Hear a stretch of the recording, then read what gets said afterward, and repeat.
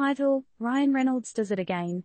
Injects cash into Alpine F1 team, because why not? TL, DR. No strangers to the limelight, Deadpool icon Ryan Reynolds and AC Milan owners Redbird Capital Partners are turning their gaze, and their dollars, towards the racetrack. They're now holding stakes in the Alpine Formula One racing team, catapulting the Renault-supported group to a $900 million valuation. Besides being famous for their acting chops, these guys seem to have a knack for sporting investments. Remember the Welsh football club, Wrexham FC, they turned around with a reality TV show? Ready, set, go. Acting sensation Ryan Reynolds, of Deadpool fame, and sitcom co-writer Rob McElhenney, known for It's Always Sunny in Philadelphia, are expanding their investment portfolio. This time they're buckling up for a ride with the Alpine Formula One racing team, adding a whole new level of glitz and glamour to the racetrack. Just when you thought these guys were done after propelling a humble Welsh football club, Wrexham FC, into the global spotlight, they're back, taking another shot at the world of sports.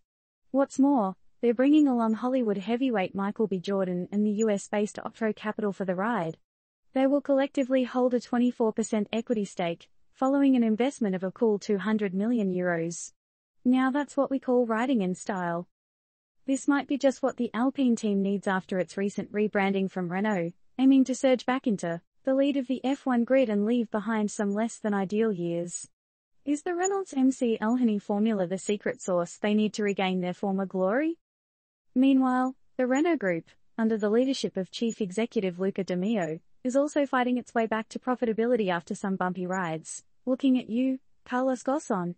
In 2022, Alpine made it to the fourth place in the Constructors' World Championship, trailing behind Red Bull, Ferrari, and Mercedes.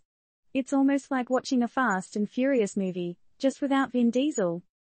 On the other side of the pond, F1 is increasing its popularity in the US, and we've got Netflix's behind-the-scenes series Drive to Survive to thank for that. Can Reynolds and team harness this growing appeal and steer Alpine's profile to new heights? Liberty Media, the owner of F1 since 2017, has imposed spending limits to level the playing field and ensure financial sustainability. What will Reynolds and his team make of this? Can they still turn Alpine into a champion under these circumstances? We're waiting to see. Reynolds isn't just Deadpool, folks.